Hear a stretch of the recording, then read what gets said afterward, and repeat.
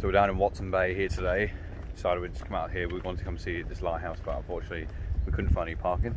It was absolutely mental. So we're just going to a lookout point here now. Jump over the rock real quick. To where we are now here today. Absolutely fantastic. Go to look out. We're going to see if we can get some drone footage as well.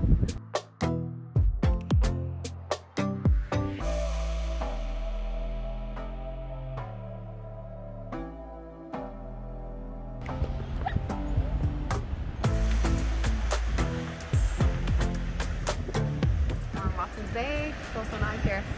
I think that's the gap look, look out there. I think so, yeah. Um, so yeah, hopefully we'll get to look at that.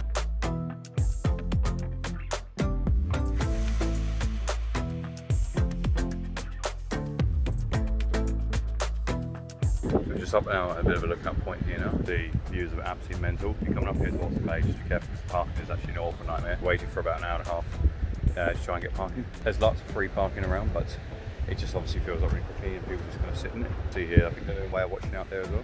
We're going to continue on now again and see if we can do a few different drone shots. Some of you may be wondering as well is why my skin looks very pale. It's because I've used this different kind of sun cream. I think it was all all natural sun creams on that, and I ended up putting way too much on. So,